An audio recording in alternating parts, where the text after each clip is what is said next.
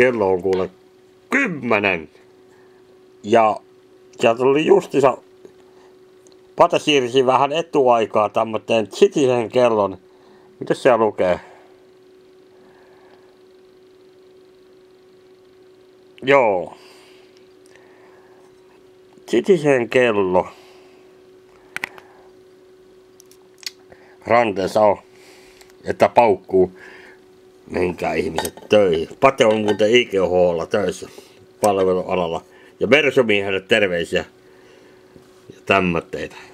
Yes. Ja ja. Persupuhelimet mukaan. Oi oi. Tuo on muuten semmonen kello, että tuottaa muuten vähän häiriöä. Mutta ei mulla muuta taas sitten joo. Kato akkukin loppuu. Oh hoija. Oh hoija.